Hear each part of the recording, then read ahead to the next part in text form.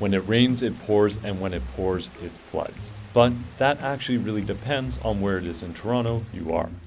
Flooding in Toronto and the damage it can cause is by all means not a new phenomenon. But with factors like rising temperatures that can give way to increased moisture in the air, thanks to climate change, you may have noticed rainstorms feeling more intense and have probably seen some parts of the city flooding while others remain largely unaffected. This is likely a result of surface flooding, or pluvial flooding, which happens when there is so much rain that the sewers and drainage system can no longer handle it that it starts to overflow.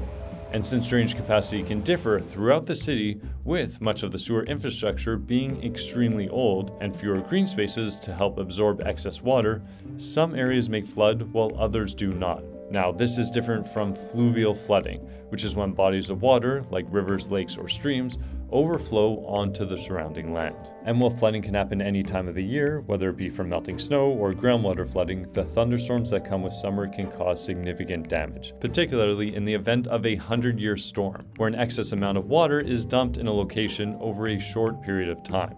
And in August 2018, the effects of the rain were so bad that two people came close to drowning when they got trapped in a flooding elevator for 40 minutes. We reached the parking level and heard a loud splash as the elevator hit the water. Water started pouring in immediately. I yell at the speaker. The water's still rising. We're on the basement level and we're afraid we might drown. The water was at neck level while we were uh, standing on the railing. Uh, if you can imagine, with our with our necks kind of like twisted at the top of the elevator, uh, hitting the roof because that's how much uh, room we had left to breathe. We eventually heard some splashing on the outside of the door and the muffled voice of somebody saying, We're the police and we're here to help.